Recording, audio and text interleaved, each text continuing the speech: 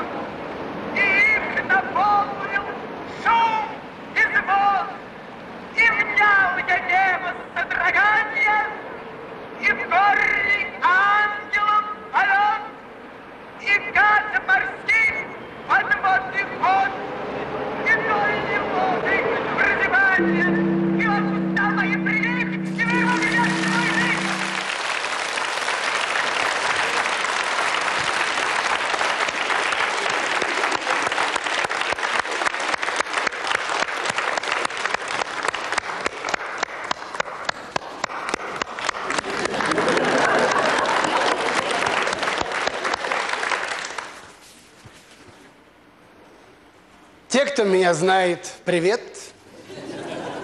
Кто не знает, будем знакомы. Витя Сухоруков.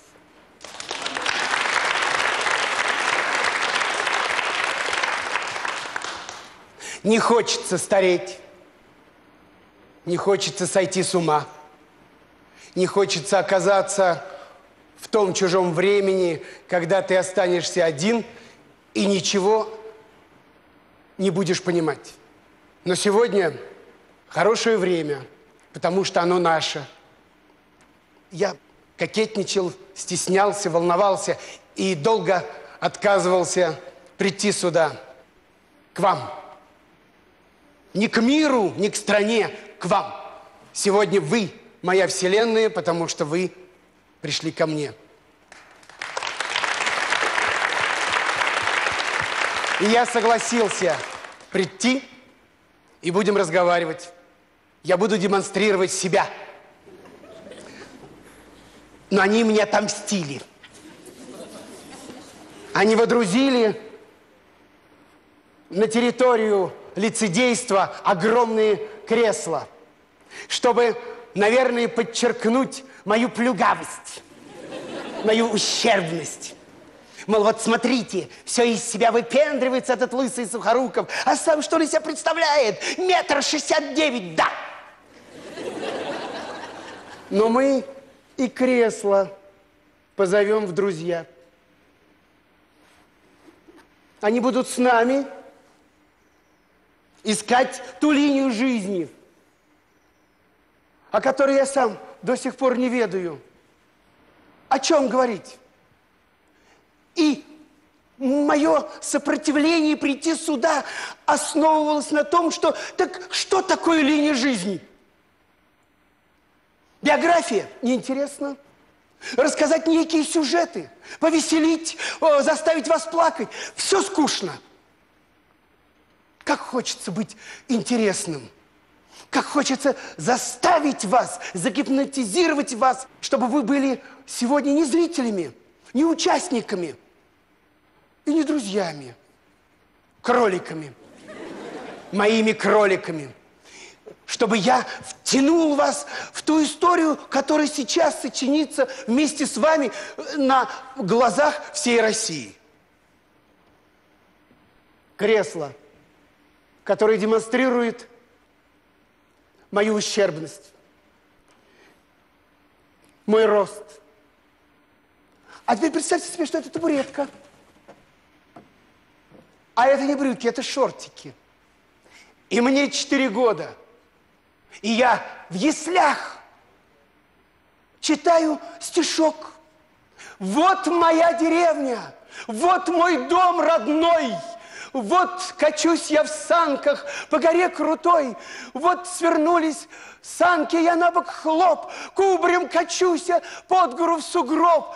И друзья-мальчишки, стоя надо мной, Весело хохочут над моей бедой. Все лицо и руки залепил мне снег, Мне в сугробе горя, а ребятам смех. Это было давно. И что вы хлопаете? Это еще так, баловство. А сегодня я весь в наградах. Я царь, я Ленин, Хрущев, Берия. Сыграно огромное количество ролей. Пройдена огромная длинная дорога э, с такими перепадами, с такими уклонами, э, обочинами, оврагами, пропастями, с разной погодой и внутри, и вовне. И все равно я хочу трудиться, я хочу лицедействовать, я хочу играть, притворяться, обманывать, сделать зрителей кроликами, которые любили меня, которые бы жрали меня как морковку и говорили «вкусно, здорово, великолепно, идем к тебе, удав Сухоруков». Так что такое линия жизни? Мое третье «я». Теория третьего «я». Да, однажды я обнаружил эту теорию. Она возникла именно не на территории благости, э, благополучия, удачи, а наоборот, в пространстве ужаса, беды, падения моего личного распада – когда вдруг я оказался на перекрестке э, Владимирского проспекта и Невского, и я стоял, э, шел дождь, э, город жил, троллейбусы, работали магазины, люди шли взад, вперед, мимо меня, сквозь меня, и я стоял один, мне хотелось курить, а курева не было, мне хотелось выпить, а не было водки, мне хотелось заплатить за квартиру, но не было денег, я захотел поздороваться, я захотел поцеловаться, но люди как мир, шли мимо меня, сквозь меня, и я почувствовал себя мертвым, живым мертвецом. Я почувствовал себя в нигде. То есть вот они все есть, а меня нет. Как так? Я здесь, а меня нет. Ага, меня нет, но вы не знаете, что я есть, и я наблюдаю за вами. Я слежу, как вы идете, как вы говорите. Я слышу вас, я вижу вас, а вы не знаете, что я как будто бы видеокамера, фиксирующая вашу жизнь. Не знаете меня, не видите меня, но и не надо. Обойдусь без вас. Пушкин сказал однажды, занимаясь поэзией и писательством всю жизнь, он вдруг однажды воскликнул, айда Пушкин, айда сукин сын удивился самому себе. Что это? Это и есть, видимо, теория третьего «я». Хватит эмоций. Давайте вопрос.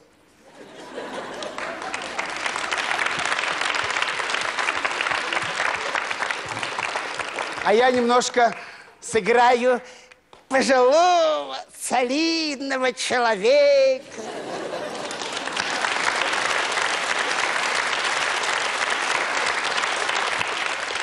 Виктор Иванович, здравствуйте. А скажите, пожалуйста, вы помните свое первое разочарование и первый восторг от кино?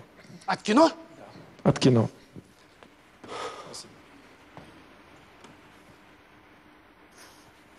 Я очень эмоциональный человек и очень восторженная фигура. Я восхищался даже тем, что не могло быть прекрасным. Я восхищался даже драками людей, когда был маленький. Поймете, вы спросили о кино, и вы поймете, почему я заговорил о жизни. Жизнь уже кино. Сюжеты жизни – это и есть драматургия. И проживая в городе Орехово-Зуево, я наблюдал великие народные свадьбы, когда столы разных форматов выносили в коридор – ну, можно сказать, барака, хотя у нас было слово казарма. И люди со своей закуской шли и расставляли свои разные тарелочки, разные стопочки. Только водка была из одного магазина с одной этикеткой. и шло пиршество. И одновременно, напившись, нагулявшись, вдруг два мужика цеплялись и дрались в кровь. И потом, размазанные собственным телом по стене, они вдруг успокаивались, отдыхивались, садились друг с другом рядом. Стояла между ними бутылка портвейна, и они продолжали жить и разговаривать, как ни в чем не бывало. И также в кино. Самое, может быть, далекое, что я вот могу помнить из своего начала, это индийское кино. Радж Капур. Бродяга я, бродяга я. Индийское кино э, украшало мою жизнь. Разочарований не было никогда, потому что кино – это всегда колдовство. Наверное, уже были присыщенные люди, которые э, знали все это. Нет, я не знал. Я заглядывал э, за экран. Я залезал тайком и заглядывал. Может быть, и оттуда у меня одна была дурная привычка. Э, продавались такие калейдоскопы, трубочки со стеклышками. И я крутил это стеклышко, как кино. А потом разбирал эту трубку. Из чего же они там шевелятся? Из чего созданы та, те узоры? И я уже знал, что там три стеклышка, из них одно зеркальце. И эти стеклышки цветные, я все это знал. И я снова, собрать уже было нельзя, и я снова покупал новую трубку, и снова крутил, и снова ее разбирал. Потом диаскоп у меня был. На помойке подобрал. Кто-то выкинул. Чуть-чуть богаче меня. И я его наладил и я смотрел э, диафильмы. И уже был взрослым парнем, казалось бы. И я получал колоссальное удовольствие от этих диафильмов для пятилетних детей. Я ушел во взрослую жизнь. У меня не было ни фотоаппарата, ни гитары, у меня не было ни пианино, у меня не было библиотеки, у меня не было ничего. Но мне так не хочется сегодня об этом рассказывать, что опять меня обвинят, скажут, ну вот опять рубаха парень и изображает какого-то убогого, несчастного, нищего. Да, нищий. Но только я не был в грязном понимании нищий. Мы были бедными. Ну, счастливыми, потому что родились, потому что жили, потому что мечтали. Я-то сегодня-то счастливый, благополучный. У меня все получилось, но пусть с опозданием. Пусть на подножке последнего вагона. Ну, я все успел. Ну, ладно. Скажите, пожалуйста... Чего вы все хлопаете-то?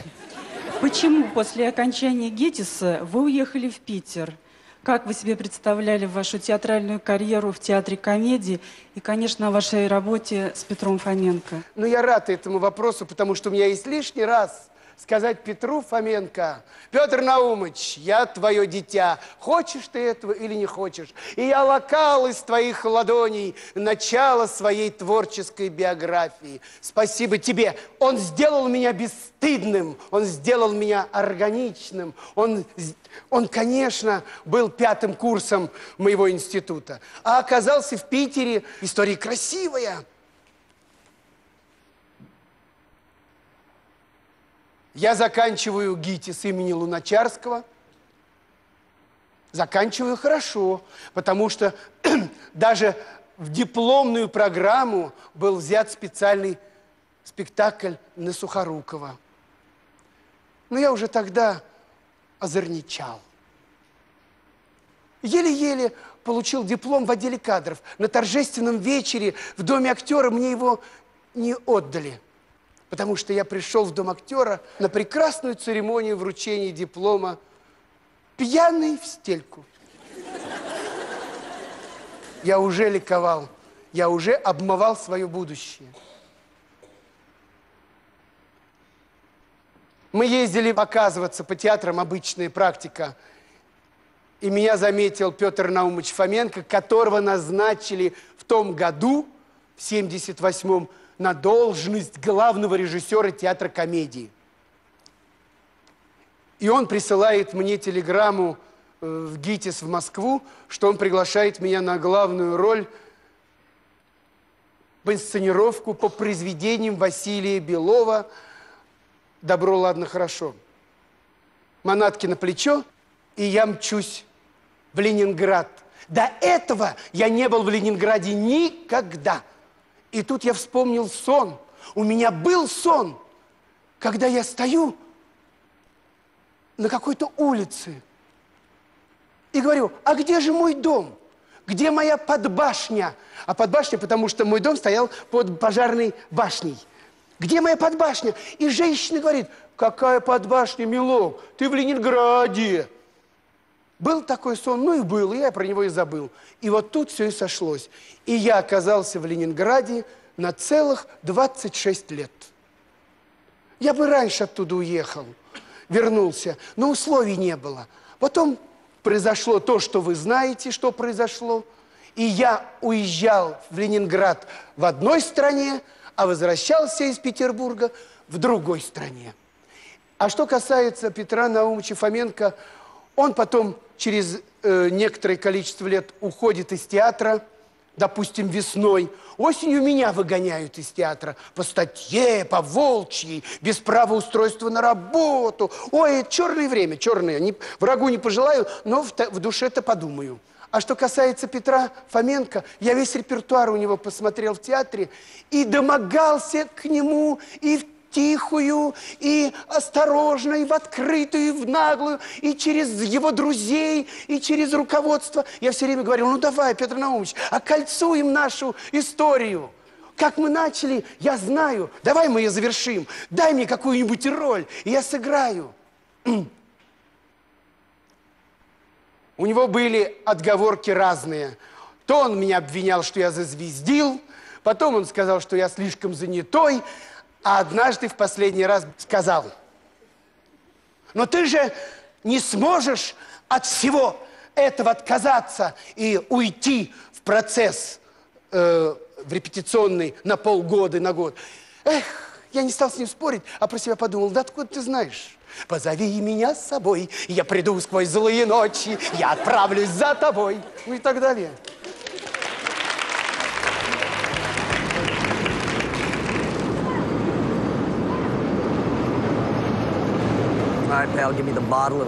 Дайте мне бутылку и предъявите документы. Что тебе надо? Не понимаю я по-вашему ни хера. Вы нарушаете закон штата Иллинойс. Запрещено пить алкоголь в общественных местах. Документы, пожалуйста. Чего? Чего ты мне паришь? Все покупают и пьют. Вон возле магазина. Пойдем покажу. У них бутылка в пакете, я не вижу, что они пьют.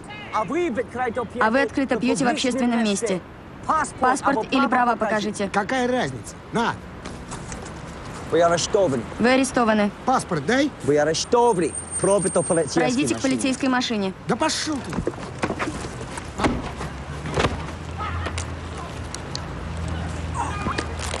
Я полицейский! Да ладно, я сам милиционер. Виктор Иванович, какие жизненные последствия имели для вас картины «Брат» и «Брат 2» и еще? А, Как вам работалось на съемочной площадке с Сергеем Бодровым? Я попытаюсь сейчас вам, друзья, впервые сформулировать ответ на этот вопрос от конца. Кинотеатр Пушкинский. Премьера фильма «Кукушка». Александра Рогожкина. Я пришел на этот просмотр, и по коридору бежит ко мне Сергей с женой – Витюша, здорово. А к этому времени она, Света была беременная, вторым мальчиком. Они ремонтировали новую квартиру, по-моему, в Кунцево, я так, туда и не добрался. И мы э, поздоровались, а я уже рожу кривил. Он мне с открытым сердцем, душой, а я ему говорю, вот, ты приступаешь к съемкам, к очередной картине, ты меня обещал взять, а ты не берешь меня. Я хочу с тобой работать. Тем более, когда мы жили с ним в одной квартире, в апартаментах в Чикаго, на съемках «Брата 2», много у нас было всяких разговоров, и тогда он мне признался, что он хочет быть режиссером, и что из актеров он уйдет, и что уйдет он из телевизора. Я уже знал, и вот там я ему и сказал, будешь режиссером, ты меня уж возьми с собой. Обязательно, говорит Витюша, возьму. И вот фильм «Сестры», меня нету. Потом, значит, э, фильм «Связной», и опять меня не позвал. Я на него обиделся. И закончилась премьера. Выходим мы из зрительного зала. Стоит съемочная группа, и в профиль выходу стоит и курит Сергей Бодров. Впервые рассказываю, сейчас заплачу. И я выхожу, благодарю режиссера, пожимаю руку продюсеру и делаю вид, что я Сергея не замечаю. И ухожу, не попрощавшись. Я ушел с ним, не попрощавшись. Через некоторое время родит Света. Ради этих родов он и задержался в Москве. Но в это время Кармадон его уже ждал. И они уезжают и больше не, не возвращаются. Так линия этой жизни. А ведь он мог меня взять и увезти с собой. Вот так вот. А что до товарища, друга? Ах, таких мало. Он выращенный, воспитанный матерью и бабушкой. Он был мужиком интеллигентным, грамотным, терпимым, как, какой-то стыдливый, совестливый. Э, были недостатки? Конечно, были. Семья, дети, заботы, желание быть режиссером, проблемы, ответственность за людей. И на телевидении у него были сложные отношения кое с кем. Переживал. Я рад, что он был в моей биографии. Повезло. Не оторваться, брат, места мало. Оторвемся.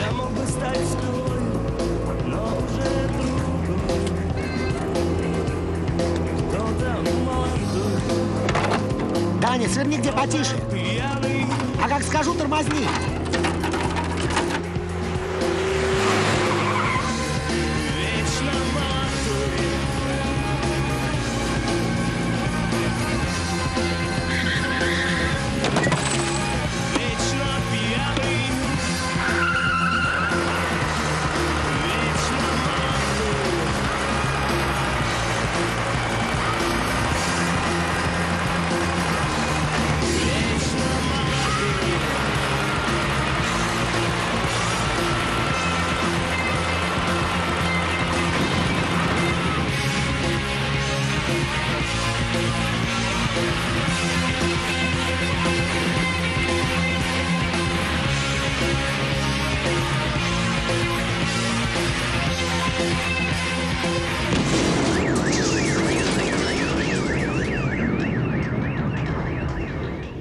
Виктор Иванович, вы пишете стихи. С чего вы начали, когда и вообще с чего начиналась ваша поэтическая деятельность? Спасибо. Поэтическая деятельность.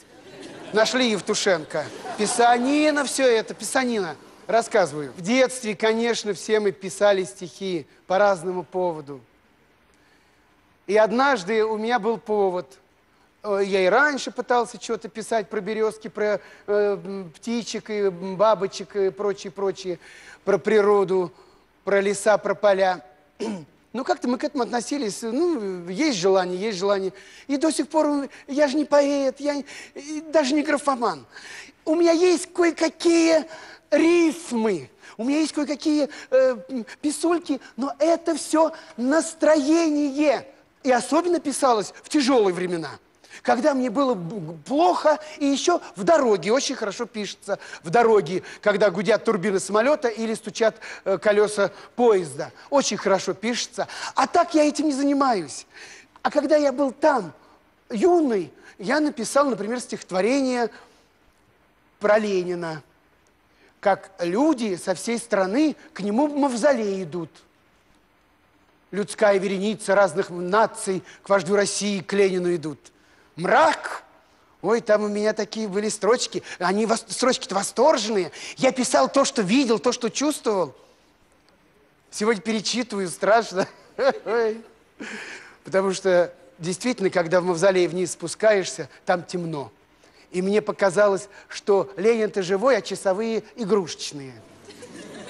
Вот, поэтому нету деятельности, нет поэзии, и все это несколько листочков, жеванных где-то в далеком ящике стола.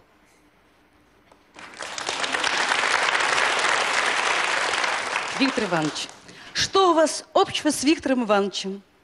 Почему Алексей Балабанов сделал тезкой вашего героя фильма про уродов и людей? Дорогие друзья, вот это и есть линия. Вот мы обнаружили линию. Еще в 89 году, друзья, фильм «Бакенбарды», Юрий Мамин, «Перестройка», «Страна гудит», э, возникают группировки, организации, э, формируются всякие компании, партии, течения. И вот на этой волне перестройки э, Юрий Мамин снимает кино «Бакенбарды». Это был мой, можно сказать, дебют. Дом наш! Ура!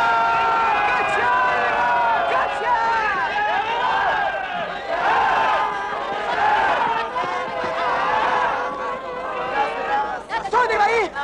Вперед! Мы теперь хозяева этого дома! Заходи, смелей! Спонсоры мои, заноси шмотки в дом! Вы куда? Отныне этот дом принадлежит клубу Александра Сергеевича Пушкина. На том основании дома сохранили. Таково будет решение исполкома. А вы, господа хорошие, либо вступайте в наш клуб, снимайте свои трихомуди, подчиняйтесь дисциплине, или вам здесь делать нечего. Ангард, ангард. Кино не снимали до 40 лет. Советское кино. В каждой киностудии по 80 фильмов, а мне места нету. Понимаете? И когда вдруг замешалась, замутилась, забурлила страна моя, я, меня вдруг эта пена и подняла. И вы знаете, как один э, человек сказал? Господи, говорит, «Ой, Сухоруков теперь у них звезда, Сухоруков у них э, актер номер такой-то. Ну а что ж делать? Каково время, таковы герои. И я понимаю, что он имел в виду. Уродливая, лысая, оскальная, ушастая, нелепая, отвратная. А я горжусь, и я на это отвечаю. Значит, я сегодня олицетворяю время. А разве это плохо быть современником своего периода? Ничего. У этого персонажа по кличке Старик не было имени. И я говорю, Юрий Борисович, а что же, как его зовут? Э, моего героя-то. Он говорит, а я как-то не подумал об этом. Я говорю, а давай пусть будет Виктор. А что, тебе нравится? Да. И как-то мое имя в переводе «победитель» соответствовал сюжету и биографии моего героя. Это был первый сигнал. И после этого мне так понравилось играть роль под своим именем, что дальше не только про уродов и людей. И фильм «Брат, брат 2» я тоже Виктор. И у меня очень много картин, где я играю э, э, роли под собственным именем. И так сложилось. Это моя какая-то параллельная игра с самим собой.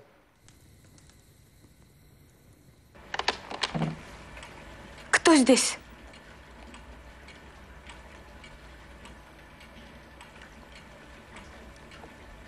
Виктор Иванович. Виктор Иванович?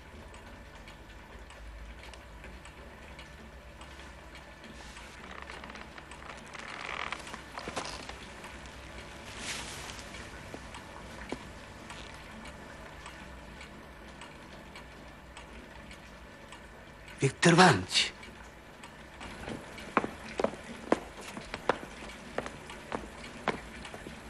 Мама!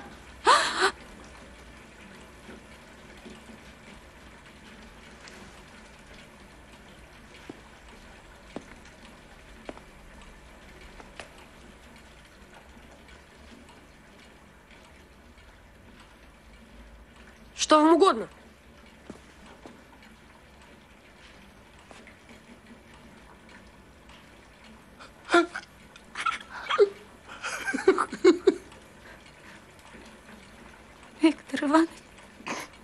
Виктор Иванович, как вы входите в образ и как вы из него выходите? Это раз. И во-вторых, а каково играть подлецов, убийц? И были ли у вас вообще срывы? Были. Как я вхожу? Вот так вот вхожу. И вот так выхожу. Трудно, любопытно, дотошно. Иногда бывает и истерично, в поисках, в, при, в каком-то в притирании. Я очень дотошный работник. У меня все продумано до мелочей. Иногда, в зависимости от роли и сюжета, я продумываю даже поворот головы, э, жесты рук, вздох, паузы, взгляды. Я сочиняю себя. Я себя сочиняю. Именно поэтому, может быть, мои подлецы хороши, обаятельные, органичные, и они ко мне не прилипают, потому что это все придуманные, чужеродные. Это как бы мои фантазии. А если фантазии заставить меня остаться там, то это уже шизофрения. Я контролирую себя, по крайней мере, мне так кажется. Мне часто э, говорят, вы хороший, вы талантливый. Я к этому не то чтобы привык, я играю в привычку. Я не то чтобы не хочу этого слышать, я хочу, чтобы меня хвалили. И когда мне говорят, извините, э, я не комплименты, но вот мне хочется вам сказать, что вы вот такой секой замечательный, ради бога, то... я говорю, не-не-не, хвали, хвали. Но я контролирую это, чтобы не скурвиться, не обмануться, не заблудиться э, в этих э, похвалах и в этих комплиментах, но они нужны. Это же наша диета, это наше здоровое питание. Только не забывайте меня, любите меня, смотрите на меня и дайте мне роли, дайте, дайте, дайте.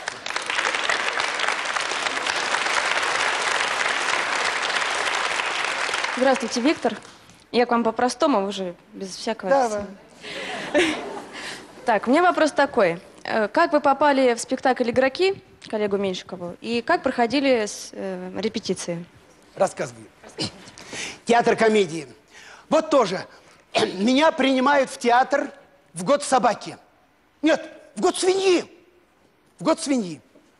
Потом меня выгонят через несколько лет. Но пройдет 12 лет. И я снова вернусь в этот театр. Или меня выгнали в год свиньи. Надо посчитать. Неважно. И я, пройдя космический цикл, возвращаюсь в этот театр. Уже я был популярный, уже брат вышел. Но дело не в этом. Я считаю себя театральным человеком, но как-то вот все, вот не везло мне с ролями. Как-то не было у меня азарта, интереса. Э, Ну, конечно, много я сам себе испортил, но самое интересное, что э, э, я очень серьезно не поладил или разладился с художественным руководителем к тому времени в театре комедии. И все-таки, уважая театр, я под лето, под закрытие сезона подаю заявление об уходе. Она кричала мне из кабинета, и пошел вон алкоголик! А я, хлопая дверью под оркестр матерных слов, отвечал ей тем же, ушел из театра. И я ушел в никуда.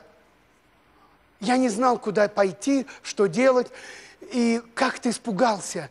А был июнь, и я уехал в город Орехово-Зуево к сестре на лето. Была прекрасная погода. 18 июня. Я в семейных трусах на кухне варил щи. И вдруг звонок. Алло. Здравствуйте. Это Меньшиков.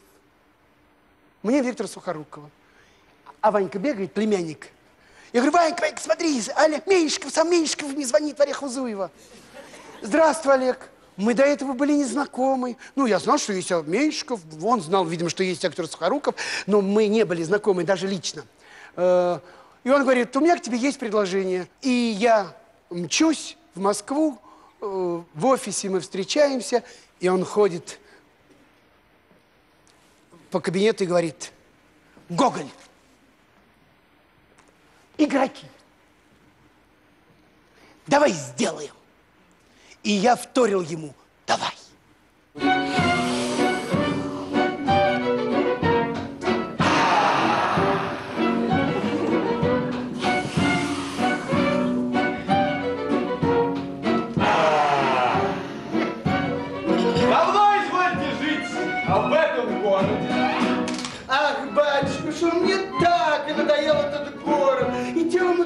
Рад бы отсюда поскорее вырваться. И вот так я оказался в этом э, спектакле, чему я очень счастлив. И опять-таки есть обратная сторона. Он настолько избаловал эстетикой, культурой, э, отношением внутри коллектива за семь лет. 200 с лишним спектаклей. Вы не поверите, тот, кто знает и любит театр, ни одного конфликта, ни одного скандала, ни одного. Такого быть не может. И что самое интересное, играем и как в первый раз. Играем и как в первый раз. Карты, карты, грошовый банчик, эх, господа, послушайте старика. Вы молодые люди. Конечно, тут ничего худого, больше для развлечения. И в грошовую игру нельзя много проиграть. Все это так, да все. Эх, господа. Я сам играл и знаю по опыту. Все на свете начинается грошовым делом. А смотришь, маленькая игра как раз кончилась большой. Виктор Иванович, скажите, пожалуйста, вы практически в одно время э, в двух разных фильмах играли Павла Первого и графа Палина. Э, жертву и убийца. Насколько это было сложно для вас? Графа Палина я сыграл в фильме «Золотой век» Ильи Хотиненко – но если бы я сыграл сначала бедный-бедный Павел в фильме, то я никогда бы не согласился на эту версию «Золотого века». Я удивлен был э, фигурой Павла, насколько нам оставили это, историки, вообще время оставило нам Павла больным, неуравновешенным, неврастенником. Друзья, он царствовал три года – а дураков не убивают. Дураки выгодны на престоле. Им вертеть было бы легко.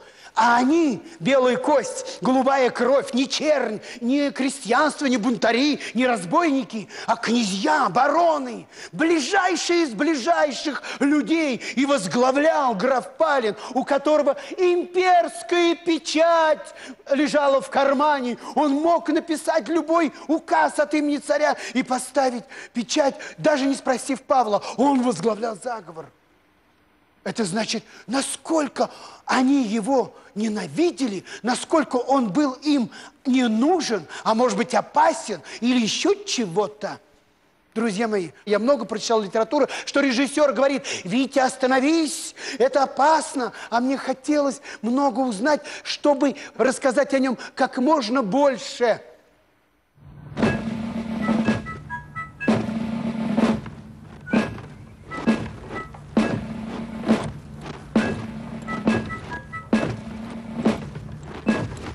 Видели? Это отборный рота моих гачицев. Сия невиданная прежде стройность, а плод единства, силы и послушания. Или только солдатского принять за образец. Тоже мало кому рассказывал случай. Невский проспект. Зимний дворец. А тут э, лавра, кладбище где похоронен отец Петр III. Что он делает? Он эксгумирует кости отца, кладет на катафалк и везет в Зимний дворец. Но представьте себе, ради справедливости, возмездия, ради того, чтобы историю поставить на свое место, сын вытаскивает кости отца, везет на блистательном катафалке в Зимний дворец, коронует отца, и после этого он отца и мать хоронит в одинаковых гробах Петропавловской крепости. Конечно, со мной могут поспорить, но я это рассказываю с позиции защиты Павла как актер.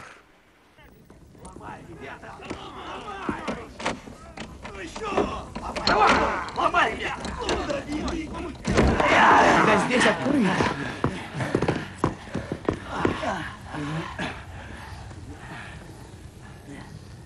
Чем могу служить, господа?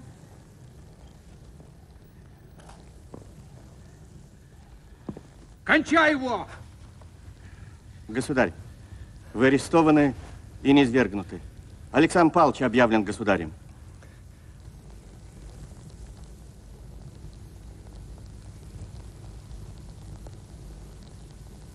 А если я не отрекусь? Я ведь помазанник Божий. Петра Первого правнук. Уместно ли мне отрекаться? Куда? Как убивать-то будете? Как царевича Алексея? Или как батюшку моего Петра Третьего?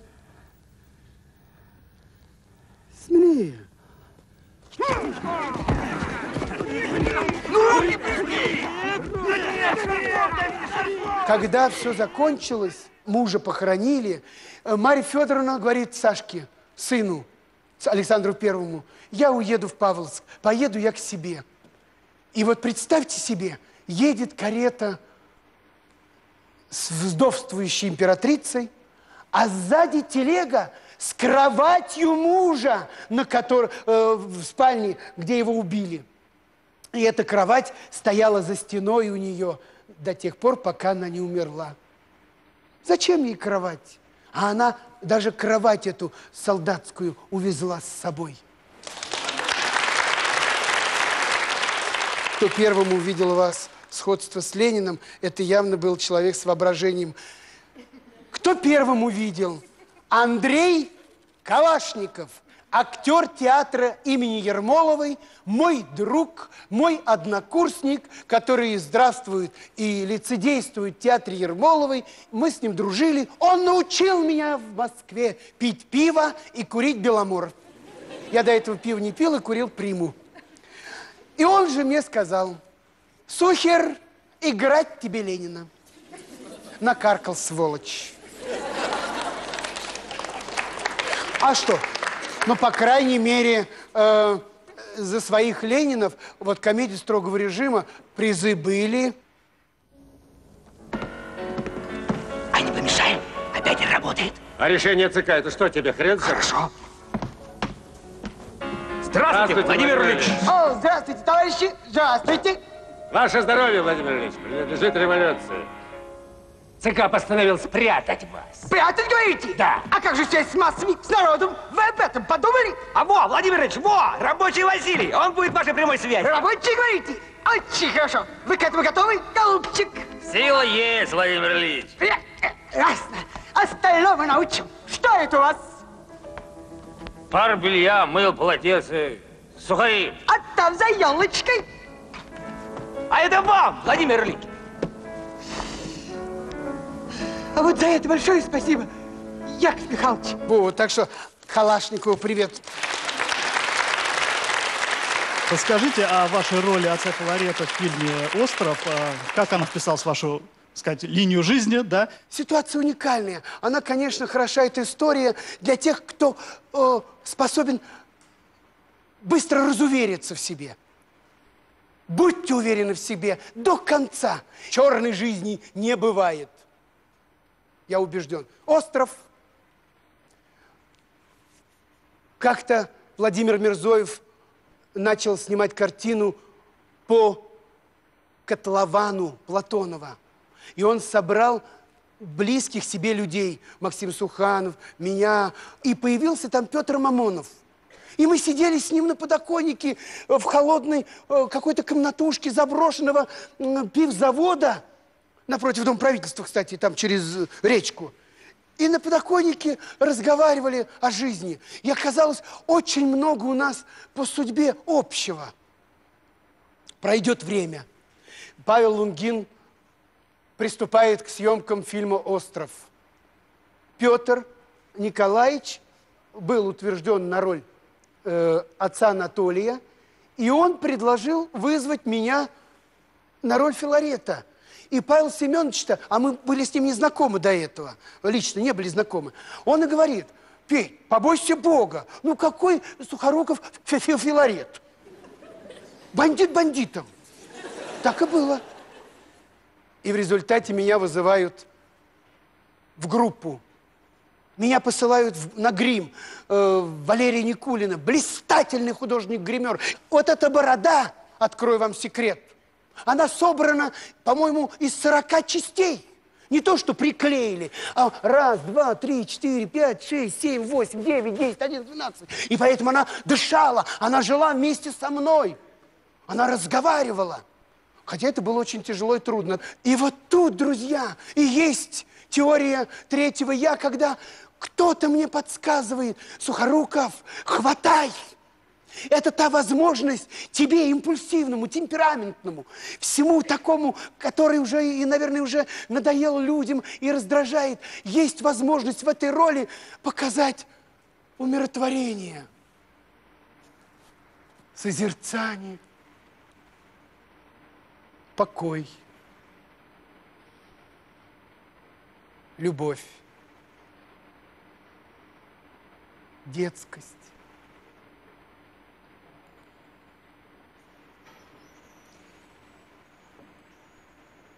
И началась проба.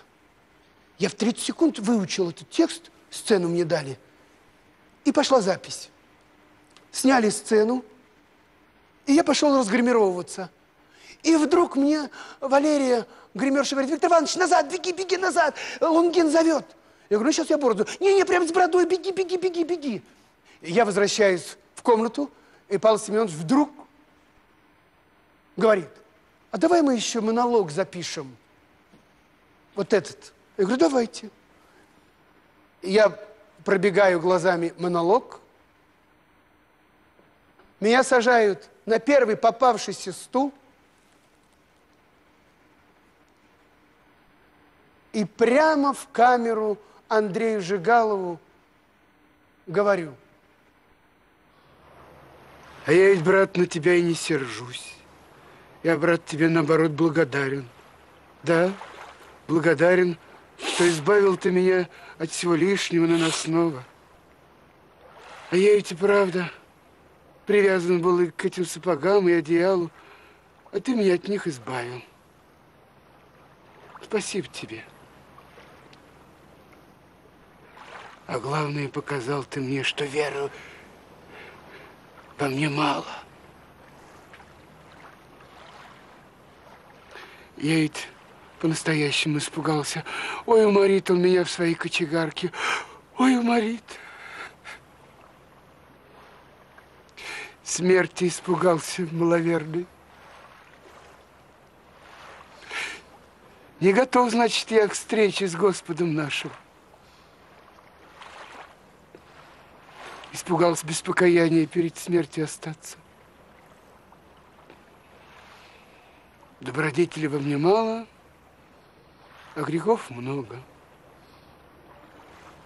И на следующий день мобильный телефон на Московской улице кричал мне в ухо лунгинским голосом.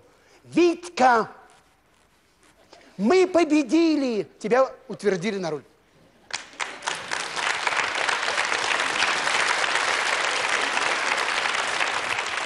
И победил я с этой ролью себя. Я награжден и Орлом, и Никой.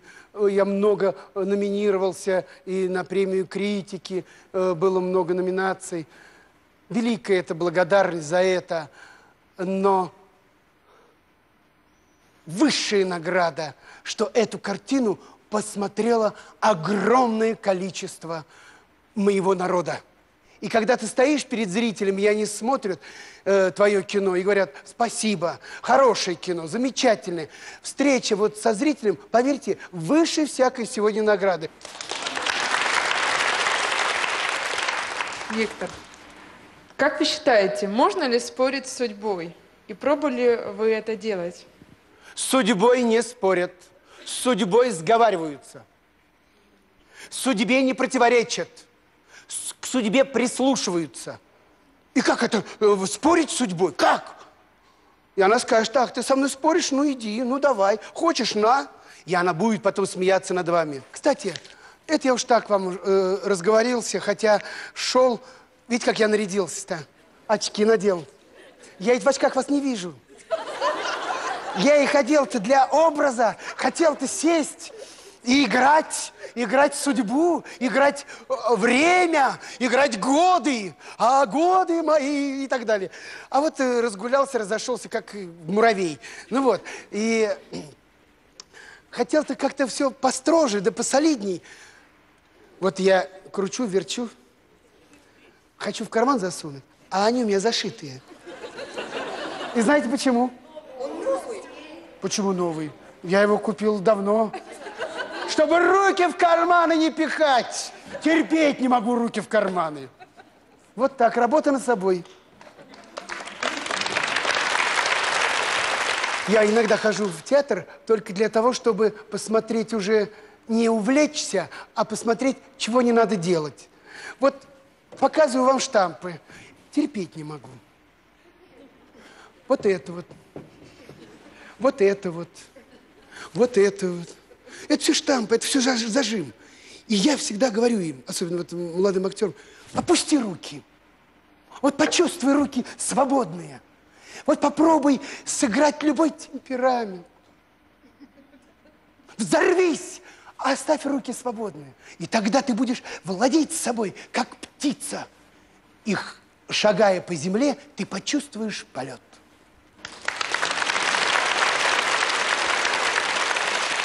Спасибо вам, друзья. Банкет я обещаю. А теперь по секрету. Давайте, какие у меня недостатки вы увидели? Рассказывайте.